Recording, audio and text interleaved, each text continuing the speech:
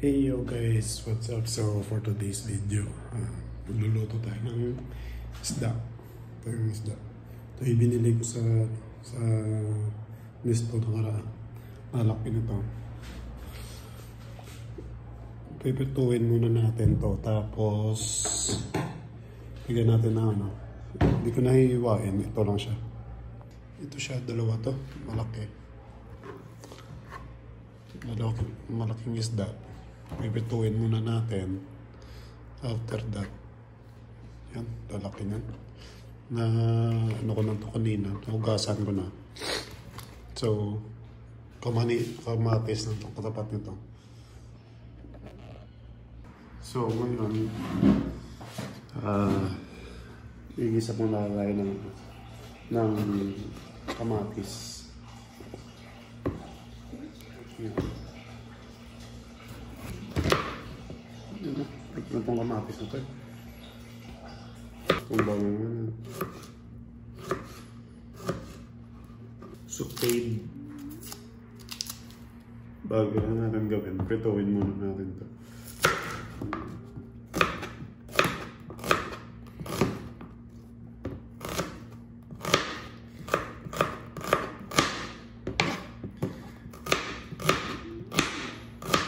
Yan.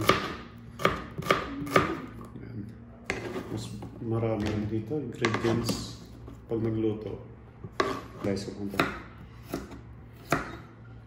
Yan. Yan lang.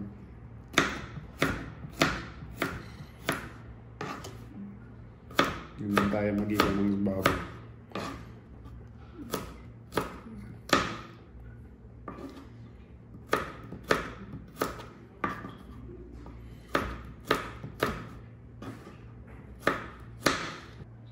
Yan na yung ingredients. Pagkatawin naman natin to.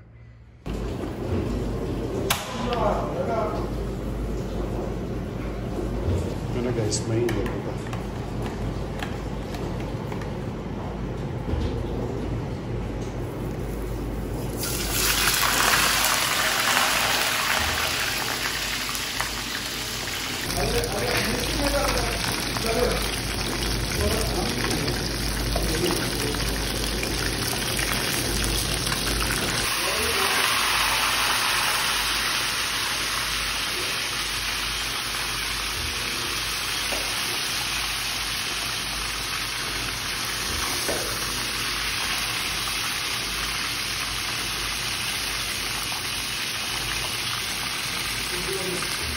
Good luck.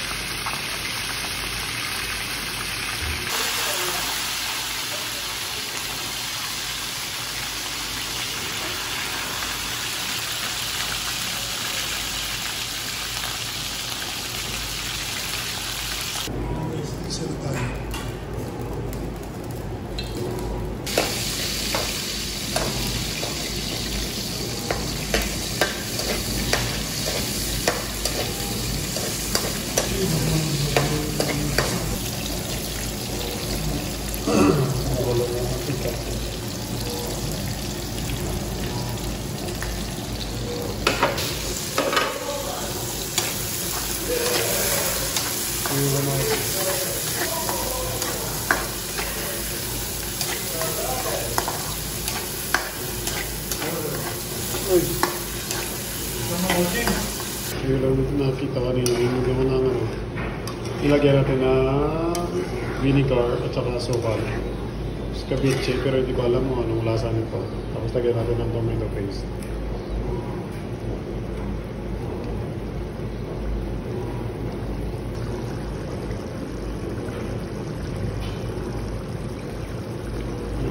Labas pare.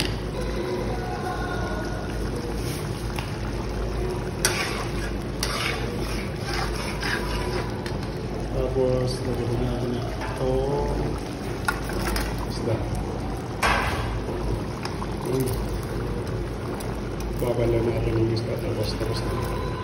Finished product.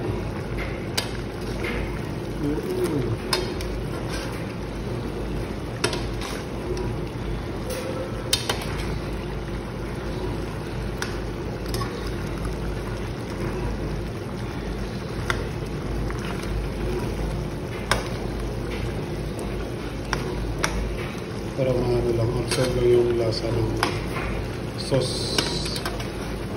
Pwede na yun. Tapos,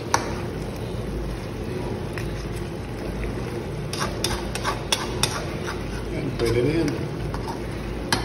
Finished product. See you on the next vlog guys. Scopiache yung uh, yung ako anong isla to. Tilapia pa to. Hindi naman. So yun na guys. Ito na yung finished product natin. Kailangan natin na ilipot sa ngayon dito. Huwag na. Dito na yun. Bakbakan na to. Kain na tayo guys. Yo guys. Tara kain tayo. Tignan natin yung luto natin. Mm. Mm. Ito yun.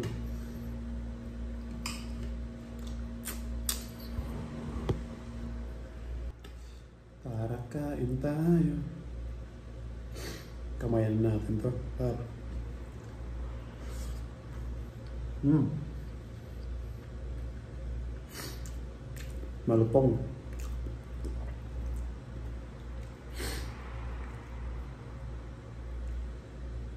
Parang escabeche naman yun.